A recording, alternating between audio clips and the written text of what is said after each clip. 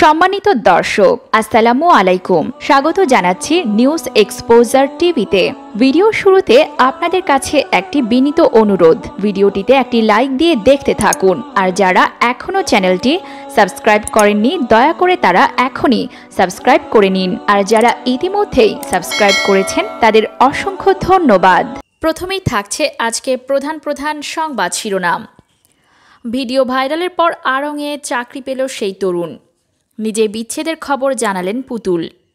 পনেরো লাখ টাকা খরচে নৌকা, ঢাকায় আনার অনুমতি পেলেন না ইউসুফ। বাংলাদেশ ব্যাংক নেবে দুইশো জন, আবেদন ফি নেই। এবার দেখুন বিস্তারিত সংবাদ। ভিডিও ভাইরালের পর আড়ংয়ে চাকরি পেল সেই তরুণ।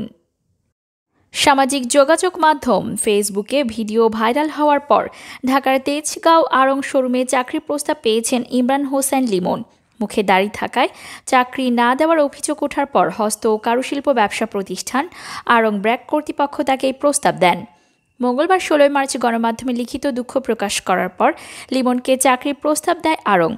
প্রতিষ্ঠানটির মিডিয়া সেলের public relation officer Redwan Ahmed গণমাধ্যমকে বিষয়টি নিশ্চিত করেছেন।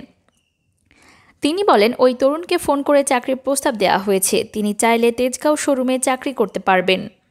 আরঙের চাকরির নীতিমালা, দাড়ি বিষয়ে কোনো নেতিবাচক শর্ত নেই উল্লেখ করে রেদোয়ান আহমেদ বলেন, সেদিন ইন্টারভিউ বোর্ডে যারা ছিলেন তাদের আমরা জিজ্ঞাসাবাদ করছি। প্রয়োজনে শাস্তির আওতায় নিয়ে আসা হবে। এ ঘটনায় প্রতিষ্ঠানটি সোমবার, পনেরোই মার্চ একটি লিখিত বিবৃতি প্রদান করেন। সেই বিবৃতিতে এই ঘটনার জন্য দুঃখ প্রকাশ করেন তারা। এছাড়াও, ভবিষ্যতে এমন ঘটনা আর যাতে না ঘটে, সে ব্যাপারে তারা সতর্ক থাকবেন বলে বিবৃতিতে উল্লেখ করেন। লিমনকে চাকরি না দেওয়ার ভিডিও ভাইরাল হওয়ার পর সিলেট নগরীর জেল রোডস্থ আরং শোরুমের সামনে সোমবার পনেরোই মার্চ সকাল এগারোটায় সিলেটের সচেতন আলেম সমাজ ব্যানারে মানববন্ধন ও বিক্ষোভ কর্মসূচি পালন করা হয়। সেখানে সিলেটের কয়েকশো আলেম শিক্ষার্থী ও ধর্মপ্রাণ মুসলমান উপস্থিত ছিলেন। এই আন্দোলনের পরে প্রতিষ্ঠানটি টনক নড়েছে বলে মনে করছেন অনেকে। তাকে চাকরি দেওয়ার ক্ষেত্রে এই আন্দোলনের অনেক উল্লেখযোগ্য ভূমিকা রয়েছে।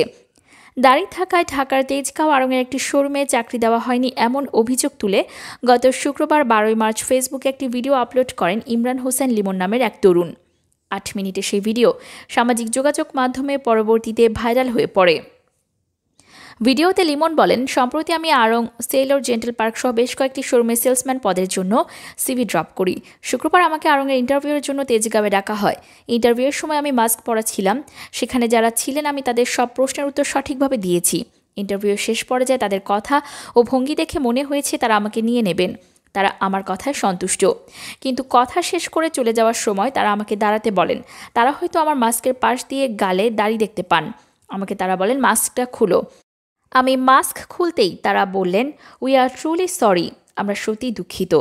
আমি বললাম, কেন? কি হয়েছে? ওনারা বললেন, আপনাকে আমরা কনফার্ম করতে পারছি না। আপনি যদি দাড়িটা ক্লিন শেভ করতে পারেন, তাহলে আপনার জবটা আমরা এখানে কনফার্ম করব ইনশাল্লাহ। লিমন বলেন, আরঙের লোকজন আমাকে বলেন, আমাদের আরঙের রুলস হচ্ছে সেলসম্যানের জব করতে হলে আপনাকে ক্লিন শেভ করতে হবে। তাদের এই কথা শুনে আমি হতভম্ব। আমি ফিরে আসার সময় আমি তাদেরকে বলি, তাহলে আমি এই জবটা করব না। আমি এই কথা বলে চলে আসছিলাম। তবে আমি আবারও তাদের কাছে ফিরে যাই। তাদেরকে বলি যে, আমি খুবই নিডি আমাকে কি কোনোভাবে চাকরিটা দেওয়া যায়? তারা বলে, না, এটা আরঙের রুলসে নাই। এরপর সর্বশেষ মঙ্গলবার তেজগাঁও শোরুমে লিমনকে চাকরি করার অফার দেন আরং কর্তৃপক্ষ। নিজেই বিচ্ছেদের খবর জানালেন পুতুল। ভেঙে গেল ক্লোজ আপ ওয়ান তারকা সংগীত শিল্পী সাজিয়া সুলতানা পুতুলের সংসার। কানাডা প্রবাসী ইসলাম নুরুলের সঙ্গে বিবাহ বন্ধনে আবদ্ধ হয়েছিলেন দু হাজার উনিশ সালের বিশে মার্চ। আনুষ্ঠানিক বিচ্ছেদের প্রায় দুই বছর পর রোববার চৌদ্দই মার্চে খবর জানান পুতুল। কিন্তু কি থেকে কি হয়েছে তার সংসারে ভাঙন ধরেছে। গত কয়েকদিন ধরে এমন কথাই শোনা যাচ্ছে মিডিয়ার পাড়ায়, অলিতে গলিতে। সূত্র জানা যায়, দুজনের মধ্যে বনিবনা না হওয়াতেই এমন সিদ্ধান্ত নিয়েছেন তারা। গণমাধ্যমের সামনে প্রকাশ্যে বিচ্ছেদের কথা স্বীকার করতে চাননি ক্লোজ আপ তারকা। তার ভাষায়, ব্যক্তিগত বিষয়ে আমি কোনো কথা বলতে চাই না। আমার ব্যক্তিগত বিষয় নিয়ে গণমাধ্যমে আমি কোনো স্টেটমেন্ট দিতে চাই না। আর যেহেতু আমি এ বিষয়ে সরাসরি কিছু বলছি না, সেহেতু আমি চাই না যে এটা নিয়ে নিউজ হোক। তবে গত রোববার চোদ্দই মার্চ মধ্যরাতে নিজের ভেরিফাইড ফেসবুকে পেজে একটি স্ট্যাটাস দিয়েছেন তিনি। লিখেছেন, বৈবাহিক জীবনে বিভিন্ন কথা। পুতুল বলেন, দুই বছর আগে বিয়ে করেছিলাম, ঢুকেছিলাম যুগল জীবন যাপনে বিবাহিত জীবনের খুব অল্প দিনের মাথায় বুঝেছিলাম পথটা কঠিন থেকে কঠিনতর হচ্ছে। এই পথ ঠিক আমার কল্পনার সেই পথ ছিল না যে পথে আনন্দে হেঁটে যাওয়া যায়। তারপরই মূলত আলাদা হয়ে যাওয়ার সিদ্ধান্ত নেই। তিনি আরও জানান, বিচ্ছিন্নতার সিদ্ধান্ত নিয়েছিলাম তখনই। হয়েছিল বিচ্ছেদ। অতপর আবার আমার সেই একক জীবনে ফেরা।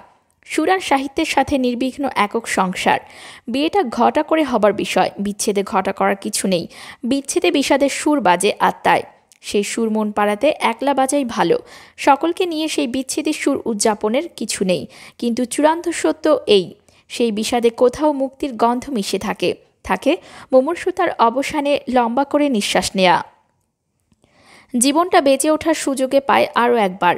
সেই জীবনটাকে বাঁচিয়ে দেওয়া জীবনের প্রতিটা সুবিচার বলে বিশ্বাস করি। এতদিন পর বিচ্ছেদের খবর জানানোর কারণ ব্যাখ্যা করে পুতুল বলেন, এতদিন পর এই খবর জানানোর কারণ একটাই, তা হলো সম্পর্কের ভেতরে থাকলে যৌথ জীবন উদযাপনের দুই বছর হতো। যেহেতু একক জীবন যাপন করছি, তাই বিবাহ বার্ষিকীর কোনো বিশেষত্ব বা মহিমা নেই। বছরের অন্য দিনগুলোর মতোই এটা একটি তারিখ মাত্র। জনপ্রিয় এই সংগীত শিল্পী গান গাওয়ার পাশাপাশি উপস্থাপনা ও লেখালেখিও করেন। এবারে বইমেলাতে নতুন বই উপন্যাস নিয়ে আসছেন তিনি। পনেরো লাখ টাকা খরচে নৌকা। ঢাকায় আনার অনুমতি পেলেন না ইউসুফ। বঙ্গবন্ধু শেখ মুজিবুর রহমানের জন্মশত বার্ষিক উপলক্ষে প্রধানমন্ত্রী শেখ হাসিনাকে উপহার দিতে জলভাঙা মুজিব পরিবহন নিয়ে কারিগর মোহাম্মদ ইউসুফ ঢাকায় যেতে চেয়েছিলেন। কিন্তু সব ধরনের প্রস্তুতি নিয়েও প্রশাসনের অনুমতি না পাওয়ায় তিনি যেতে পারেননি। বুধবার সতেরো মার্চ বিকেলে প্রতিবেদন লেখা পর্যন্ত অনুমতি পাননি তিনি। এর আগে দুপুরে ইউসুফ নিজেই এ তথ্য নিশ্চিত করেন। ইউসুফ লক্ষ্মীপুরের রামগতি উপজেলা চর পোড়াগাছা ইউনিয়নের পূর্বচর কলাকোপা গ্রামের আবুল কালামের ছেলে। এদিকে সোমবার পনেরো মার্চ স্থানীয়ভাবে নৌকাটি উদ্বোধন করেছেন মোহাম্মদ ইউসুফ। কিন্তু অনুমতি না পাওয়ার পূর্বে নির্ধারিত সময় বুধবার নৌকাটি নিয়ে ঢাকার উদ্দেশ্যে রওনা দিতে পারেননি। তিন বছর ধরে বানানো নৌকাটি নিয়ে প্রধানমন্ত্রীকে উপহার দেওয়ার স্বপ্ন এখনও রামগতিকে আটকে আছে। প্রধানমন্ত্রীর কাছে নৌকাটি পৌঁছে দিয়ে স্বপ্ন পূরণ করতে চান তিনি। ইউসুফ জানান, তিনি প্রধানমন্ত্রীকে উপহার দিতে রাস্তা দিয়ে চালিয়ে নৌকাটি নিয়ে ঢাকায় যাওয়ার কথা ছিল। কিন্তু রামগতি উপজেলা নির্বাহী কর্মকর্তা ইউএনও আব্দুল মমিন ও থানা ভারপ্রাপ্ত কর্মকর্তা ওসি মোহাম্মদ সোলাইমান আপাতত তাকে ঢাকায় যেতে নিষেধ করেছেন।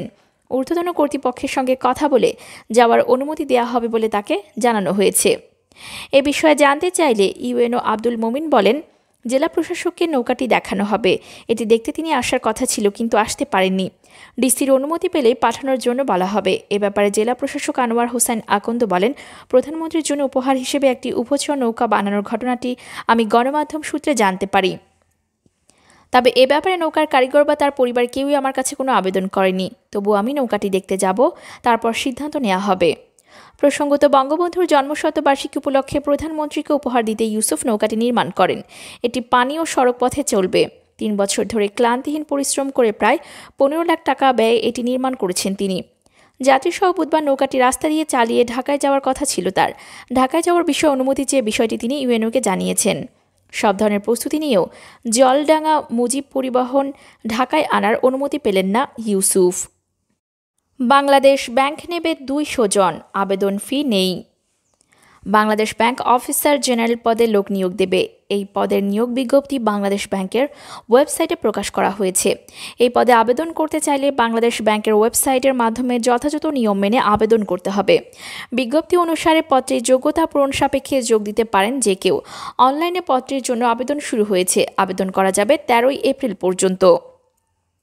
আবেদনের যোগ্যতা। আবেদন করতে চাইলে প্রার্থীকে যে কোনো বিষয়ে চার বছর মেয়াদী অনার্স বা মাস্টার্স পাশ হতে হবে। যে কোনো একটি পরীক্ষায় প্রথম শ্রেণি থাকতে হবে এবং কোনো পরীক্ষায় তৃতীয় শ্রেণি গ্রহণযোগ্য নয়। প্রার্থীকে পনেরোই মার্চ দুই হাজার একুশ সালে বয়স ত্রিশ হতে হবে। মুক্তিযোদ্ধার সন্তান ও প্রতিবন্ধীদের বয়স সর্বোচ্চ বত্রিশ বছর। পদের নাম ও পদসংখ্যা। পদের নাম অফিসার জেনারেল। পদ দুশো আবেদন করতে কোনো অর্থ লাগবে না। চাকরির আবেদনের বয়স। প্রার্থীর বয়স পনেরোই মার্চে আঠারো থেকে ত্রিশ বছরের মধ্যে হতে হবে। তবে মুক্তিযোদ্ধা বা শহীদ মুক্তিযোদ্ধার সন্তানদের ক্ষেত্রে বয়স বত্রিশ বছর। বেতন, জাতীয় বেতন স্কেল দু হাজার পনেরো অনুযায়ী ষোলো হাজার থেকে আটত্রিশ হাজার ছয়শো চল্লিশ টাকা এবং অন্যান্য সুবিধা প্রতিষ্ঠানের বেতন রীতি অনুসারে প্রদান করা হবে। আবেদন যেভাবে আগ্রহী প্রার্থীদের বাংলাদেশ ব্যাংকের website e recruitment dot BB dot ORG dot BD এর মাধ্যমে আবেদন করতে পারবেন। আমাদের এখনকার সংবাদ এ পর্যন্তই। পরবর্তী সংবাদ দেখতে চাইলে আমাদের চ্যানেলটি যদি সাবস্ক্রাইব না করে থাকেন, তাহলে এখনই সাবস্ক্রাইব করে ফেলুন। সঙ্গে থাকার জন্য ধন্যবাদ সবাইকে। এরকম আরও অনেক ভিডিও পেতে নিউজ এক্সপোজার টিভির সাথেই থাকুন। চ্যানেলটি সাবস্ক্রাইব করুন এবং সাথে বেল আইকনটি বাজিয়ে দিন। আসসালামু আলাইকুম।